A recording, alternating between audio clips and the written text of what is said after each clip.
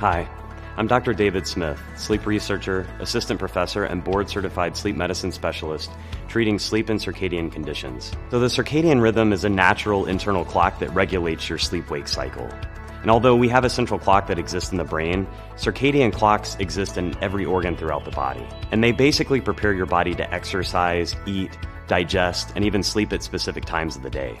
So your exposure to light during the day keeps you awake and active, while at nighttime your body produces melatonin, which actually prompts you to go to sleep. Melatonin helps maintain your body's circadian rhythm and natural sleep-wake cycles. And so when your cycle's working at its best, you feel tired around the same time each night, and you actually wake up at the same time each morning. Many things can actually disrupt your circadian rhythm. And so when your circadian rhythm is disrupted, your sleep cycle can actually um, be negatively impacted. And it leads to problems like difficulty falling asleep, staying asleep, sleeping at the appropriate times, and even feeling tired through the day. Um, several things we know can interfere with your circadian rhythm.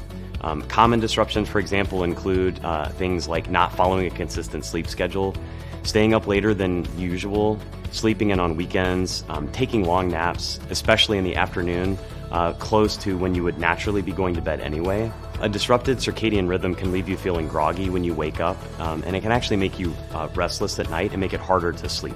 To maintain a healthy circadian rhythm, um, really the most important thing is following good sleep hygiene. And so that's um, having exposure to natural light during the day before bed, and then avoiding um, blue light from screens, uh, electronic devices, you know, phones, computers, TVs. They basically confuse your body's internal clock and even change the levels of melatonin that are secreted.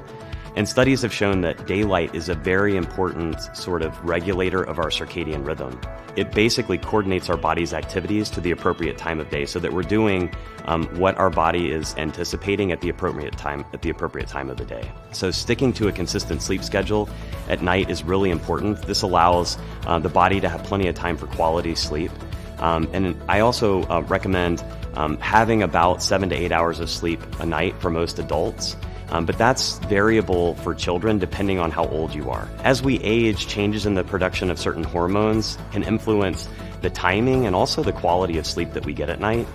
Uh, and this probably explains why some older adults, usually those in their 60s to 80s, um, can have sleep wake schedules that are shifted earlier, making them more likely to be what we call a morning lark. Regardless of age or whether you're at your best late at night or early in the morning, it's really important that you have a good and consistent bedtime routine um, that can help you get the restful sleep that you need.